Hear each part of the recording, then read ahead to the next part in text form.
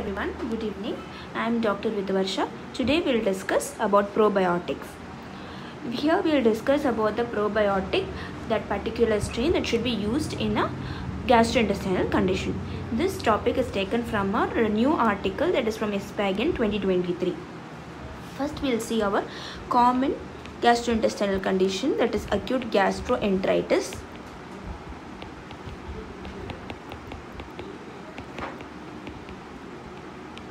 In acute gastroenteritis, what all can be used? That is, it can be recommended to the patients.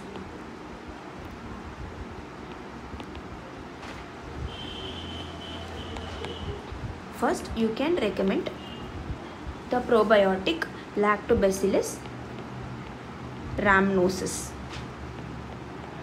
GG. Strain is GG. Okay. At the dose of more than or equal to 10 to the power of 10 colony forming unit per day for about 5 to 7 days. Okay.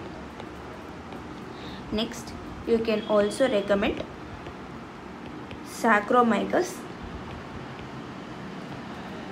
boulardii at the dose of 250 to 750 milligram per day for about 5 to 7 days.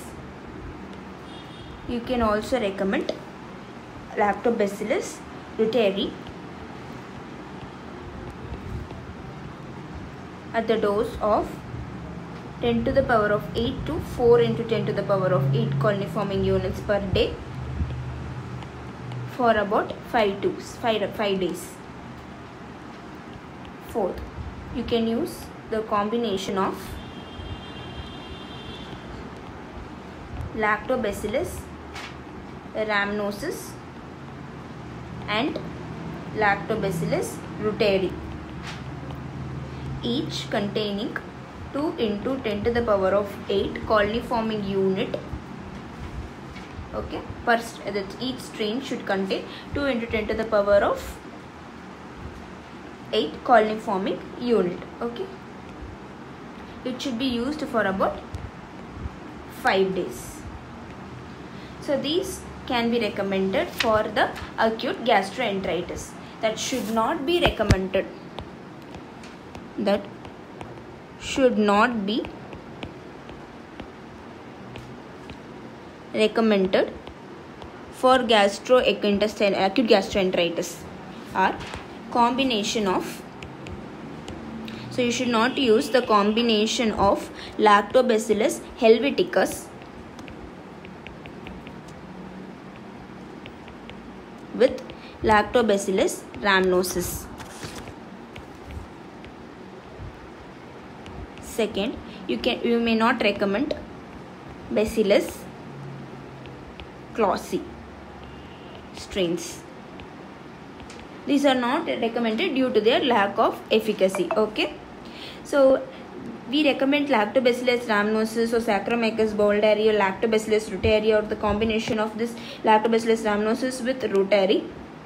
Why? Because they can decrease the duration of hospital stay. They can decrease the uh, duration of the diarrhea. They can decrease the duration of the infection in the child so they are they all have a good efficacy okay next we'll go on with antibiotic associated diarrhea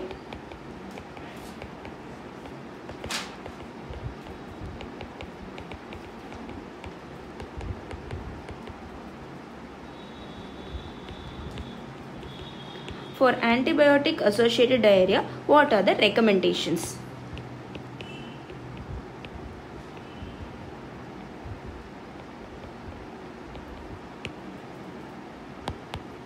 First, high dose of more than or equal to 5 billion coliforming unit per day of Saccharomyces boulardii or Lactobacillus rhamnosus GG can be started simultaneously with the antibiotic treatment to prevent the antibiotic associated diarrhea in OP setup and also in a hospitalized children.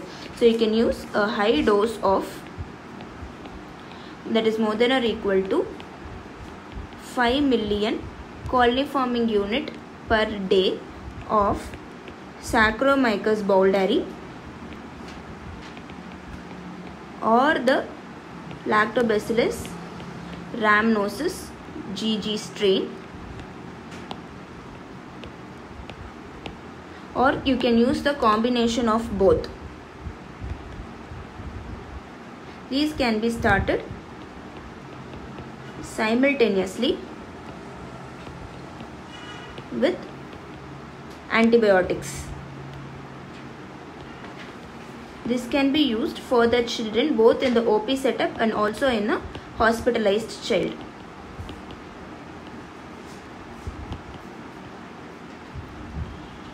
Okay, this is for antibiotic associated diarrhea.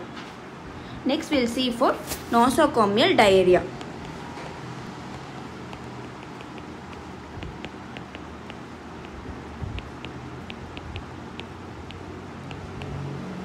For nosocomial diarrhea, you can recommend, also we'll see the recommendations.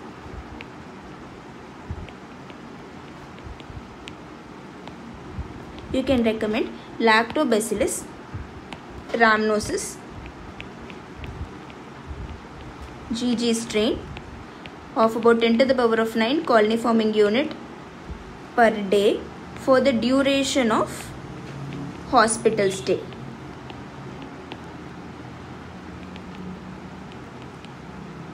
So Lactobacillus rhamnosus strain GG can be used at the dose of 10 to the power of 9 colony forming unit for the uh, till the child stays in the hospital.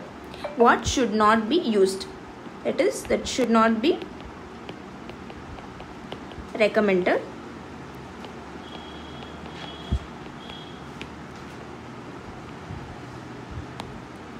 That is Lactobacillus reuteri.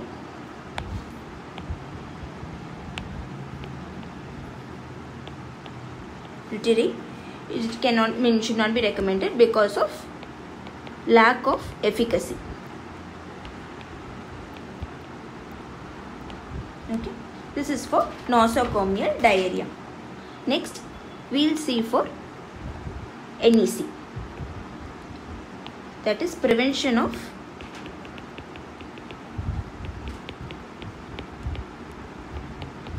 NNEC that is necrotizing enterocolitis. The use of probiotics in preterm child the child the baby should be vital should be stable okay? Then only you can use the probiotics for that child. So what can be recommended? Because this uh, for nnec prevention this probiotics is a newer modality. So the recommendations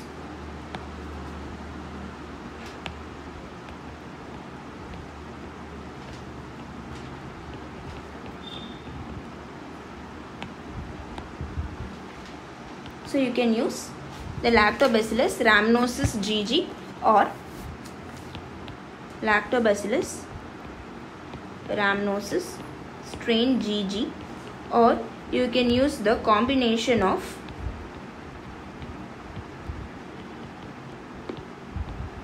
Bifidobacterium infantis with Streptococcus thermophilus. Bifidobacterium infantis with Streptococcus thermophilus.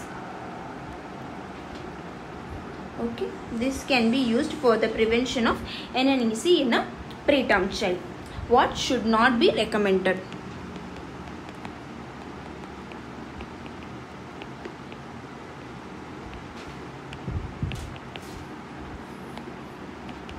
You should not use Saccharomyces boulardii and Bacillus breve the strain of BBG 001 is not recommended okay? This is for prevention of necrotizing enterocolitis. Next we look for infant colic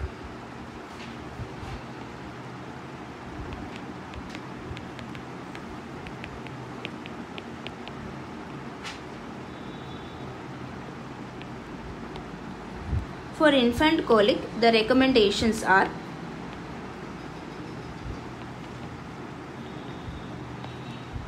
First, you can use lactobacillus reuteri for the breastfed child. This can be used at the dose of 10 to the power of 8 colony forming unit per day for about 21 days. Lactobacillus reuteri can be used only in the breastfed infants at the dose of 10 to the power of 8 colony forming unit per day for about 21 days. It is not uh, recommended for the use in a bottle fed uh, children because of lack of efficacy. Second, you can use Bacillus lactis with a strain of BB12. It can be used in the same dose as 10 to the power of 8 colony forming unit per day for about 21 to 28 days.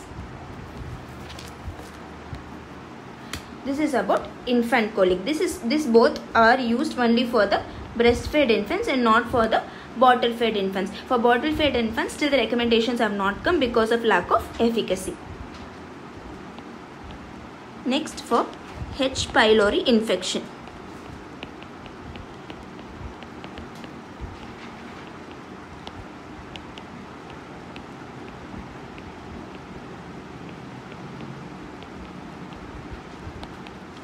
For H. pylori infection, you can use Saccharomyces boulardii because it can increase along with the uh, H. pylori treatment. So it increases the eradication rate and decreases the GI adverse effect. It increases the eradication rate and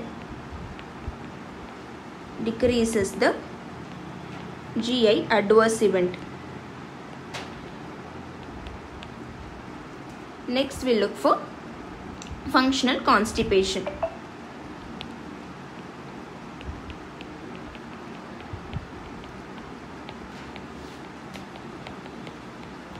For functional constipation, there are no recommendations of probiotics. There are no recommendations of probiotics.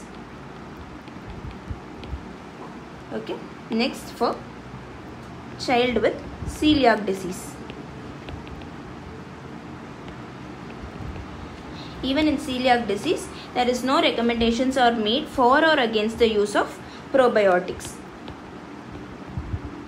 So, no recommendations are made for or against probiotics.